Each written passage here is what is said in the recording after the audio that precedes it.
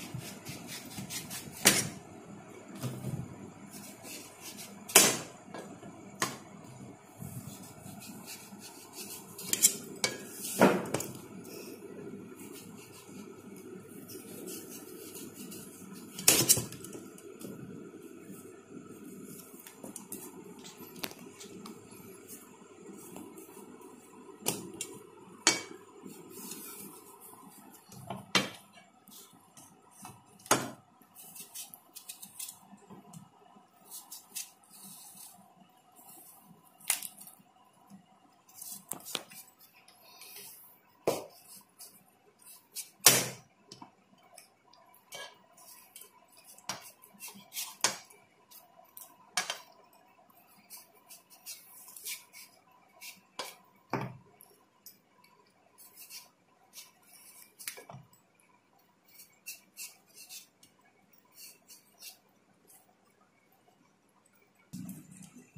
ఇలా వైట్ది ఉండకూడదండి. తీయగా ఉండదు చిన్నపిల్లలు ఇష్టపడరు.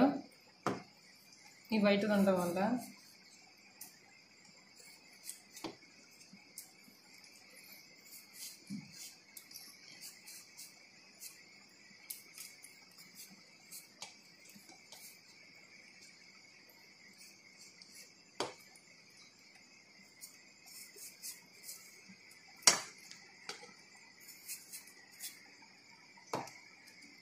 చిన్నపిల్లలు ఎందుకు మా వారే ఇష్టపడరు ఈ వైట్ తినడం వల్ల.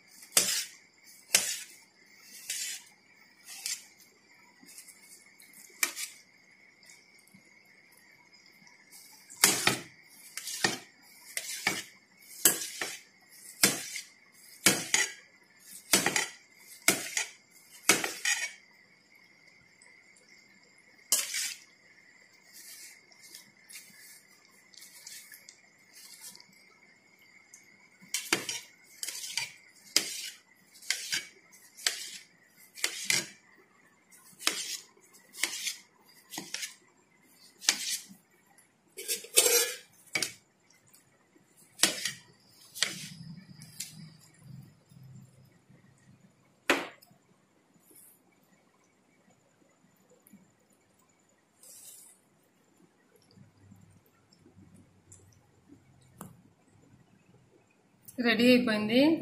ఇలా కట్ చేసుకొని ఇలా స్పోక్తో ఇలా తింటే ఈ చిన్నపిల్లలకి తినడానికి ఈజీగా ఉంటుంది.